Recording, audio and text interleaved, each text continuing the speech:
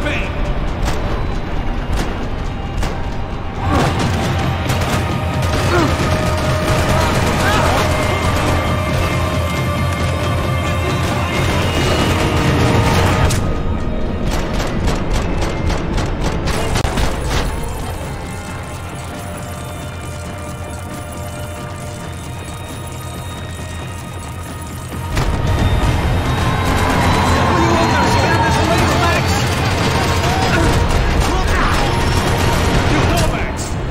Just another gringo trying to impose his will on our world.